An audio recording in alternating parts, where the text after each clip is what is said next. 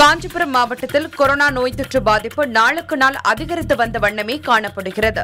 இந்நிலையில் காஞ்சிபுரம் அடுத்த பொன்னேரிக்கரை பகுதி தனியார் மருத்துவக் கல்லூரியில் நோய் தொற்றுக்கான சிறப்பு மருத்துவ முகாம் நடைபெற்று வந்தது.